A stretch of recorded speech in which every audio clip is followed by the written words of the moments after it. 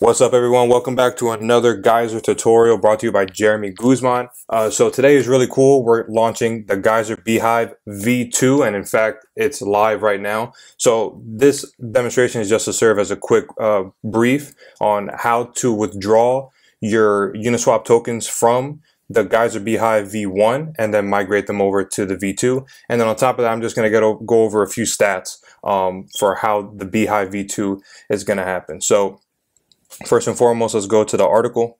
And pretty much the v, uh, Beehive V2 summary, 1% um, of the total ample supply will be added to the Beehive V2. Uh, the start date is obviously today, and then the distribution schedule will be um, throughout 90 days. So how it goes is going to abide by the same um, staking schedule as the pilot and Beehive V1. So the longer you keep your Uniswap tokens in the geyser, the more, uh, the higher uh, reward multiplier will become, which means uh, you'll, in essence, earn more ample rewards the longer you keep it in. So as you can see here, if you stake for one month, your reward multiplier will 2x, and then if you stake for two months, your reward multiplier will increase to 3x, and then 3x is the is the cap. That's the highest it will ever go, right? So we'll go back to the geyser.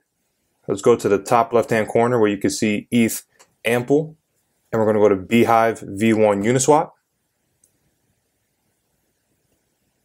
If you're already staking in the Geyser Beehive V1, just go ahead and click withdraw.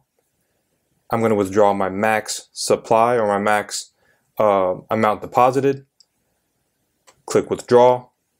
And then they're going to give you this quick confirmation page saying, hey, if you leave, you have one more month to get to 3x, and then you're eligible to accrue an additional X amount of ample, right? So I'm gonna go right ahead and click withdraw anyway.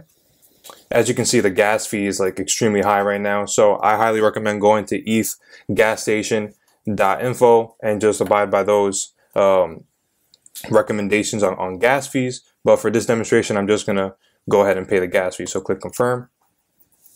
And just like that, guys, I have successfully withdrew um, from the Beehive V1 and I have successfully claimed 121 ample reward. So you're going to notice that when you withdraw your, your Uniswap token. So I'm going to close that and let's go ahead once this loads.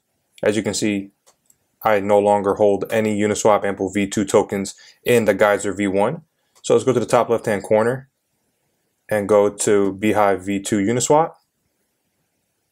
Let's go to deposit and you can see my wallet balance is uh, is showing how much I hold in the uh, ETH Ample V2 Uniswap token. So I'm going to deposit the maximum amount, hit deposit. The geyser is going to ask for permission to spend your Uniswap V2 token. So that's pretty standard. Again, I, I'm going to uh, say that the gas fees are extremely high. As you can see here, it's $3.91. Um, that's a pretty stupid amount of, of gas fees, but um, no worries. Click confirm. So once the transaction is confirmed, you're going to have to just pay another gas fee. And this is the actual depositing fee. So you'll start participating in the Geyser uh, Beehive V2. So again, I highly recommend going to ETH gas station to see what's the most economic uh, price for you if you're balling on a budget.